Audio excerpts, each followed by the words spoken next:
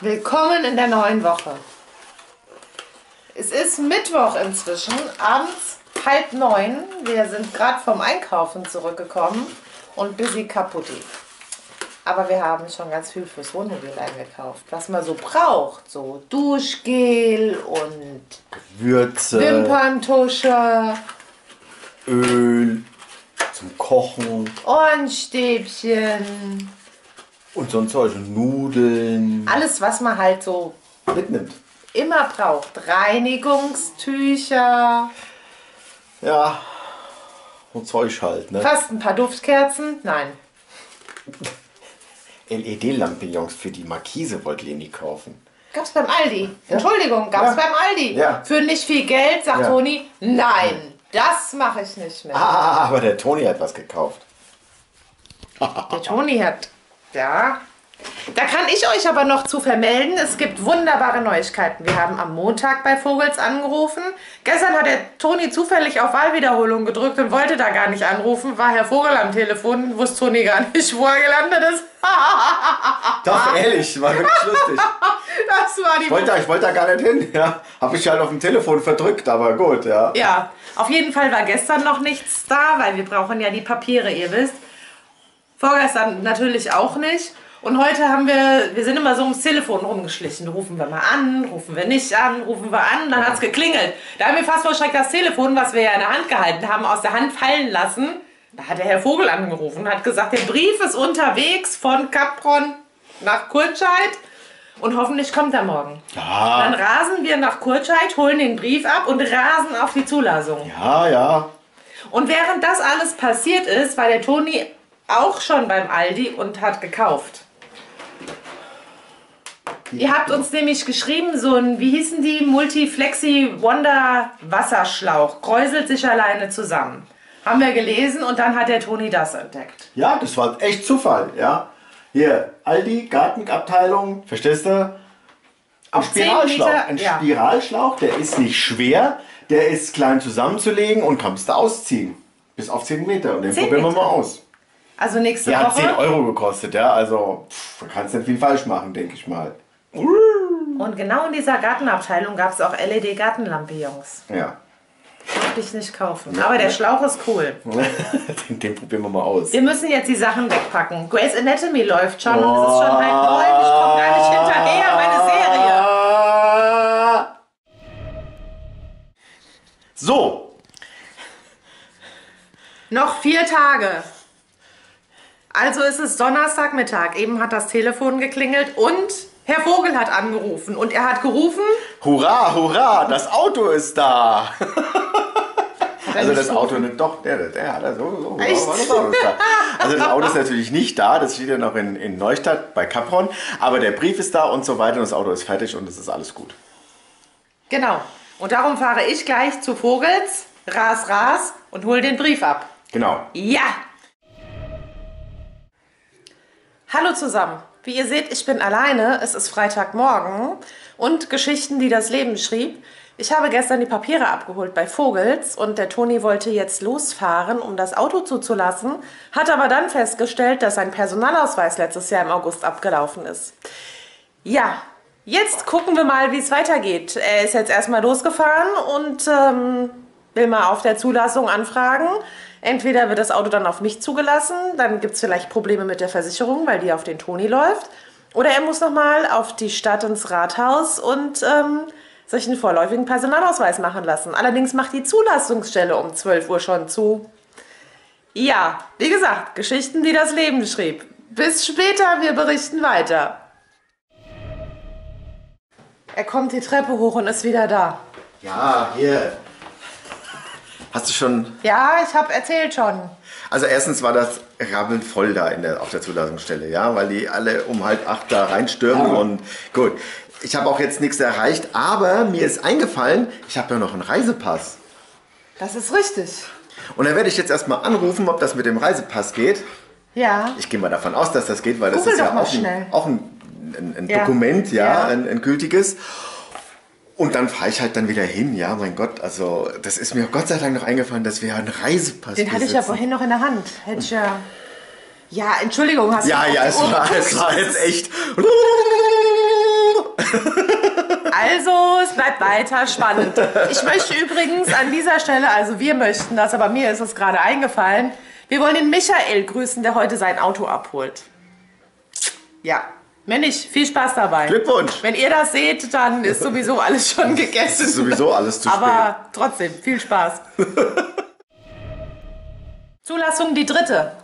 Der Toni ist wieder da. Er war nämlich schon wieder weg.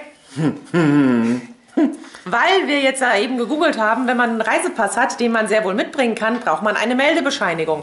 Das alles liegt aber im Ermessen des zuständigen Sachbearbeiters. Jetzt hat der Toni wirbelt rum telefoniert, ob man jetzt eine Meldebescheinigung braucht oder nicht. Der eine Sachbearbeiter sagte, ach, können Sie so kommen? Der andere Sachbearbeiter sagte, nee, nee, nee, nee, nee, nee, nee. Also war der Toni jetzt eben auf der Stadt, hat die Meldebescheinigung mitgebracht und fährt jetzt wieder auf die Zulassungsstelle. Hey, und wir melden uns dann irgendwann wieder mit Kennzeichen. Hoffentlich.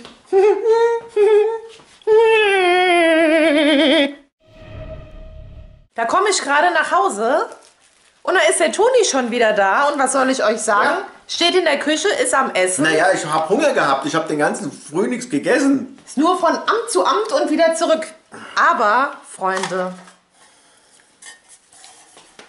er hat's geschafft. Ja. Mit Reisepass, Meldebescheinigung, abgelaufenem Personalausweis. Egal. Egal, Hauptsache. Ich war auf der Zulassungsstelle dann schon namentlich bekannt, ja, weil ich ja schon telefoniert habe mit den Damen da. Ach, ja. Sie schon wieder. Ja, ja, ja, ja, genau, so ähnlich, ja. Macht nichts. Alles da? Alles da. Und dann außerdem ist Post gekommen von Frank. Vielen Dank. Eine Kreuzwasserwaage. Ich packe dir vielleicht mal hier aus dem Dings mach das. aus. Ich kann Danke. das tun, ja, ist besser. Frank hat uns eine Kreuzwasserwaage ans Herz gelegt und hat sie uns auch geschickt. Danke dafür.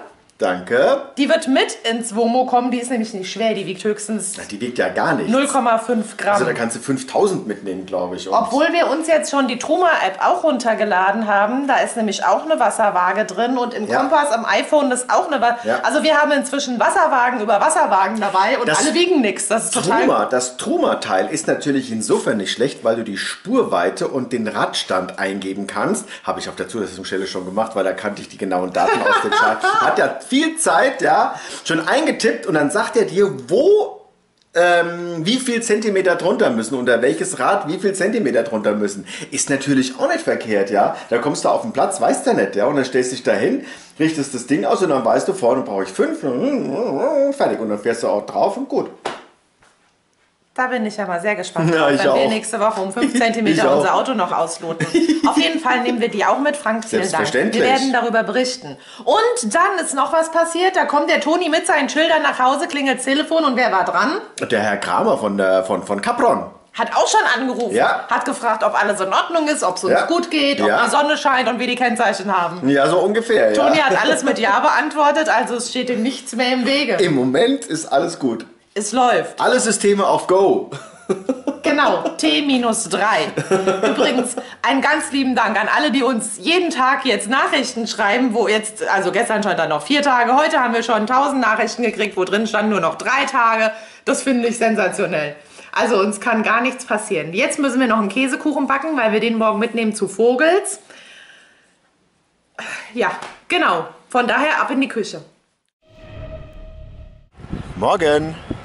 Willkommen am Samstag. Der Kuchen ist fertig.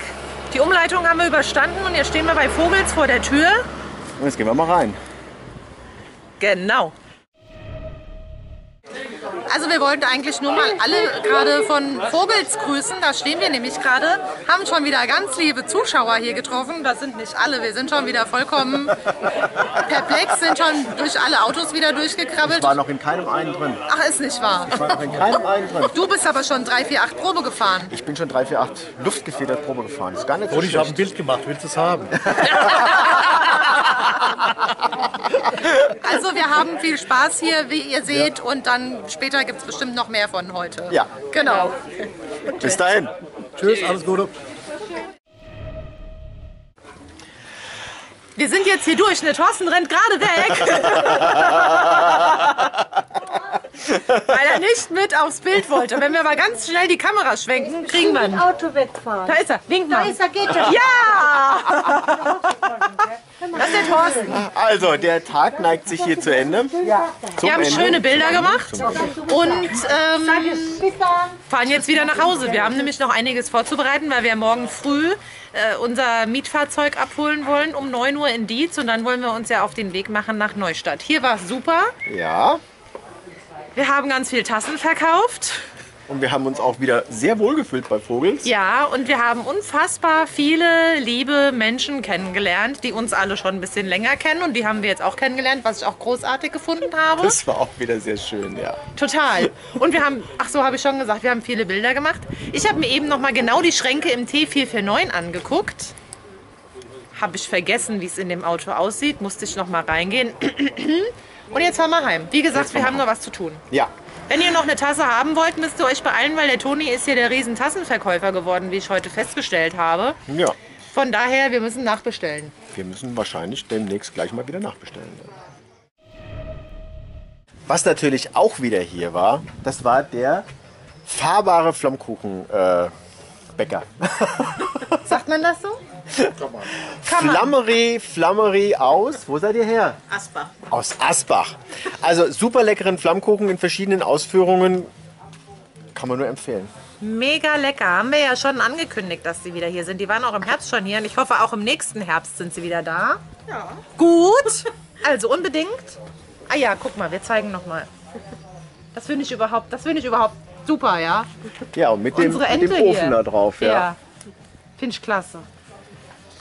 Und nochmal umdrehen. Der Dietmar ist auch da. Guck mal, der Thorsten ist schon wieder weggelaufen. Du hast es weggelaufen, ne? Nee, der Thorsten ist auch schon wieder weggelaufen. Die sind ein bisschen schüchtern. Ja, total schüchtern Ja. ist der arme Mann. nicht. Sowas Ja. kann ich nicht, ne? Was? Komm mal her. ja, das war unser Tag bei Vogels, bei dem Frühlingsfest. So ist es. Bis dahin. Tschüss.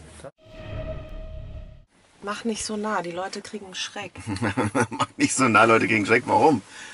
Ja, guck mich an, dann weißt du warum. Die Menzinger war auch nicht geschminkt am Freitagabend in, bei ihrer Show. Ich bin ja nicht die Mensinger und ich tanze ja auch jetzt nicht hier. Wir holen jetzt nämlich einfach unseren Mietwagen ab. Es ist Sonntagmorgen, das sieht man ja an unserem Design heute Morgen. Und jetzt sind wir gerade bei Europcar angekommen. Ja. Sie scheinen aufzuhaben. Ich hatte ja große Befürchtung, dass keiner da ist, wenn wir hier ankommen, weil Sonntagmorgen. Aber sie scheinen da zu sein. Wir konnten auf den Hof fahren und hier sind schon andere Leute am Auto rumfuhrwerken. Also scheint das zu klappen. Das liegt übrigens alles daran, dass ich am Freitag noch einen Schornsteinfeger getroffen habe und habe dem die Hand gegeben. Das ist gut. Ich bin schwer abergläubisch, wie ihr bestimmt schon gemerkt habt. Also los jetzt rein. Also los jetzt rein. Wir sind jetzt mal ein bisschen zurechtgemacht, wieder zu Hause. Auto steht draußen und jetzt gibt es erstmal Frühstück. Und dann wird gepackt. Kennzeichen dürfen wir nicht vergessen. Ja, naja, klar, logisch. Kennzeichen und das ganze Papierzeug ist logisch. Also, Logisch. Wir sind losgefahren. nennen. Wir haben es geschafft, alles, was wir mitnehmen müssen, in einen Koffer zu packen. Und los geht's. Voraussichtliche Ankunftszeit 17 Uhr. Wir könnten eben noch ein Fahrzeug vorstellen. Wir finden uns in einem Opel Mokka. Richtig, unsere neue Testfahrt. Ein Opel Mokka. Ja gut. Die Sitzeinstellung und das Navigationsgerät ist etwas kompliziert. Ansonsten, wenn man es mal rausgefunden genau, hat, hat man, Ja, genau. hat man leichte ähm, Probleme mit der Schulter, bis man die Adresse eingegeben hat. Johann Sebastian Bachstraße ist halt lang. Ist egal. Da kann ja der später. nichts für. Da sind wir. Angekommen. Wo? In Neustadt. Ach so. Du wirst doch wissen, wo du bist. Ja. Wir sind im Parkhotel untergekommen, das hat uns Capron empfohlen. Und wir haben ein Familienzimmer mit Hunde erlaubt und wir sind so lieb empfangen worden. Ja, Total toll. herzlich. Ja, herzlicher Empfang. Hunde dürfen zwar nicht mit ins Restaurant, aber das ist nicht so schlimm. Clara kann hier bleiben, im Zimmer, alleine. Und wir sind alleine auf dem Gang. Selbst wenn sie mal bellt, hat die liebe Frau an der Rezeption gesagt, ist nicht schlimm. Weil wir sind am Verhungern. Ja, wir sind das in einem Rutsch hierher gedüst und Ja. Genau. Hatten vergessen, irgendwas zum Knabbern mit ins Auto zu legen. Komisch, wir haben an alles gedacht. Kennzeichen und naja. Okay. Ist egal. Ja. Jetzt gucken wir uns mal an und gehen mit Clara mal ein bisschen toben. Und dann gibt's Abendessen. Ja. Sehr schön hier. Dann macht der Toni die Kamera aus und sagt, ich habe gesagt, wir gucken uns mal an. Ich habe natürlich gemeint, wir gucken uns mal um. Also man merkt, ich brauche was zu essen. Also gucken wir uns mal um. Vielleicht sagst du erst was.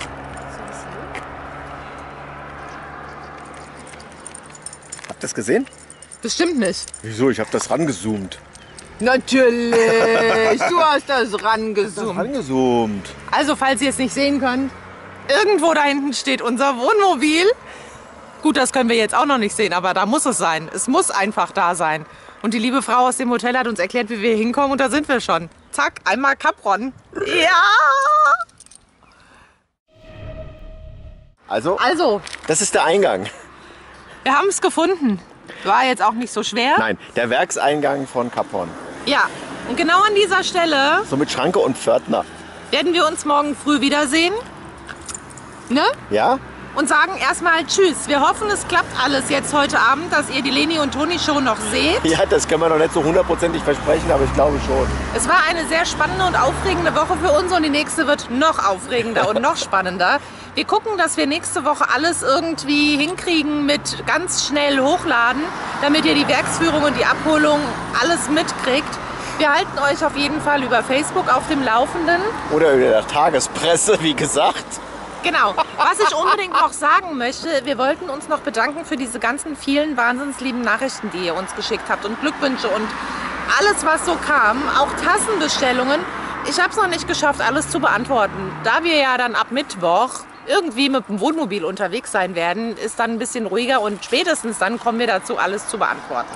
Genau. Von daher noch einen wunderschönen Sonntagabend, einen guten Start in die neue Woche. Oder vielleicht schon Montag früh, je nachdem, wann wir das hochgeladen bekommen. aber auf jeden Fall, wie schon gesagt, einen guten Start und einen schönen Start in die neue Woche. Ja. Und danke. Bis dahin. Tschüss. Tschüss.